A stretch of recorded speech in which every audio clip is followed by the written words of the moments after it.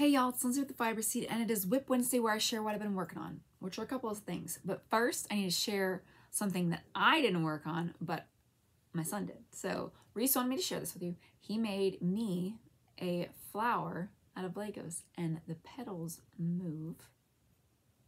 And it's been sitting over here in my bookcase, but he wanted to share it with you because it's something he had made on a Wednesday while I was recording one time. So that is my Lego flower that I um, have in my little nook area. Um, but what have I been working on? Uh, let me share. I have been working on my Rebecca Raglan worsted by Courtney Clark. Isla Tinderbox is her handle. And I think also the website where you can find her stuff. And she's also in Ravelry. Anyway, my first crocheted sweater. Where are my sleeves? I know, right? Um, I started them anyway, um, but look, look at this. Isn't that awesome? I absolutely love it. I can't find the hole, but, and by hole, I mean I literally missed one stitch and I didn't catch it until that far away. And the thing I've noticed, there's a difference. I love crocheting. This is, I've enjoyed this so much. The pattern is super well, well written and um, there's notes and pictures to for the note references. Love it. Um, thing that I, the difference between knitting and crochet that I don't necessarily like is when I catch a mistake that far down.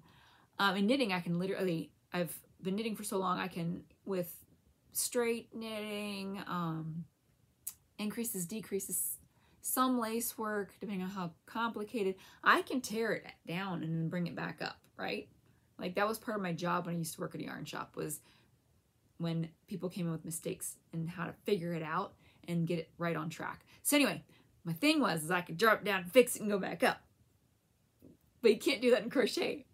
You have to rip it all out, fix it, and just go. And so when I caught it, I was like, you know, no, no, I'm just to figure out how to fix that little thing shut and I put it on, I tested it out. It didn't uh, affect the um, piece below it, so we're good. It all looks like a cohesive sweater. Well, sweater vest right now because I don't have sleeves. But anyway, that's my one hang up on myself, not anything to do with the pattern. I use sprout worsted, I use weathered, and if I run out of yarn for the sleeves, I'm to get creative because isn't that the whole point of all this? To be creative, right? So I might just throw another color in there and do some fun little patterny work to get it to go. We'll, we'll get there. But anyway, that's something I've been working on. Something else I've been working on in my Cottontail Farms bag, which I found my stitch markers from SAF in my purse. There's also something I need to share that I found in my purse from SAF, but later. Um, I am working on the Witchcraft hat by Kristen Jancuk, Media Piranha. See this? The perfectness of being a procrastinator is that if you wait long enough, the person who asked you to make something for them forgets that they asked you. Not in the sense that you don't have to make it for them, but you can make it for them in front of them and they don't have an idea that you're doing it for them. So that's what I'm doing for Mr. Fiber Seed. Um, anyway, I'm using Sprout DK in one hank of each colorway. You can make a pom at the end with your excess, or if you do like a different, not that this pom's going on there, but if you put a different pom on there, you'll have enough to make two hats out of one hank of each color. So I'm using Midnight Blue as the brim.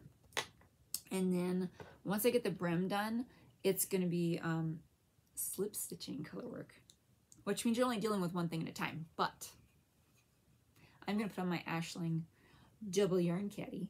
And then that way I don't have my balls of yarn rolling around or getting twisted up or anything like that in my bags. So I'm going to be enjoying that. I think I'll get done with the brim tonight, maybe? I don't know. But we shall see. So that's that was my traveling bag. I love this. It's Shetland tweed. So there we go. Um, that's Cottontail Farms, the Yarn Caddies, Aisling yarns, but it's A-I-S-L-I-N-G. So I don't think my hand's going the right way, but that's that's how you say it and how you spell it. Um, what else have I worked on?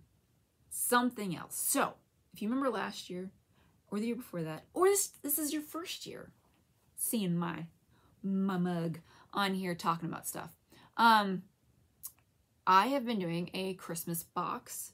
Um, it's not some elaborate thing. It's just something fun for you to open on Christmas or Christmas Eve or whenever you want to open it. It's you could open it when you get it. It's all up to you. Or you could be like, hey, person who loves me that doesn't know what to get for me, here's a box, put a bow on it. You can wrap it if you want, stick it on a tree, and I'll be happy. Um, all that wrapped up in a new colorway. So this box is going to have a hank of yarn and a sock mini. So this is sock weight yarn. It's 510 yards. This sock mini is 126 yards. This is Holiday Road. It's got greens and like a, a tealy, light tealy blue and your creamy natural background, but it looks like it's white because of the fun of filtering of colors and all that stuff. So, like in real life, not just between you and me and the screen here. Um, and then red speckles. And so you can do toes and heels on this. Um, that is my intention for the box for you. Um, however, if you are not a sock knitter or you don't want a contrast toe and heel, you can make a shawl. You can, or mittens or a hat or whatever you want to do. You can make ornaments out of this. It's, it's yarn. It's pretty. It goes together. And I'm going to have a couple little goodies in there for you um, to enjoy. And yeah, so that'll be in the shop this Friday. And that's 7 p.m. Eastern time. So if you're watching me and not the Eastern time zone, do the math because it could be anywhere.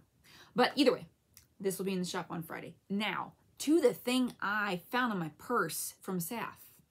The other thing I found, found in my purse from Saf. And I'm not talking about like gum or some weird band-aid or something. That's not real. I'm just saying excuses. And it, look, purses are like the dryer with socks. Something disappears and then you find it and you're like, how did I get this collection of things?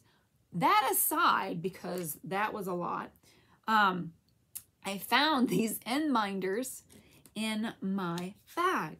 Okay, so normally I put everything that I get at Fiber Shows in the same thing. Well, I was walking around with my purse and not all my stuff. I put it in the purse. Here we are.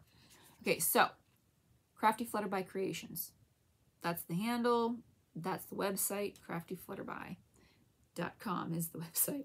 Anyway, she I've used her stuff before. I've got um, shawl pins that I have in a giant skein above my thingamabobber behind me here. Um, if you've seen them before, if you can see them now, they're there. Um, I have also used end minders, which is what I have in my hand, but they're normally been plastic and they can come in all sorts of colors and all different animals. But now wood is an option. So there's maple, cedar, um, walnut. Now, in all the different, I just thought, oh, wow, the magic of, of the TV screen. This isn't it, whatever. Anyway, the screen. I've got another one. Um, these are wooden. and the aromatic cedar is aromatic. It's it's actually quite lovely. I think that goes hand in hand with like the yarn crafts. It's like aromatic cedar, yes, that's a smell I associate with it. Anyway, kitty cats, sheep, dogs, all sorts of animals. I can't remember them all. Go to the website, go to her handle, find them. Um, but, end minders are great. They all have this little heart on there, and you utilize that to wind up your end. And it looks like this, and sits there, and it doesn't undo itself because you basically, reverse engineer and re-engineer it. Here we go. All right, I'm not reverse engineering anything. I'm just going to rewind and, and go again. So here we are. There's the heart. You put your end on it.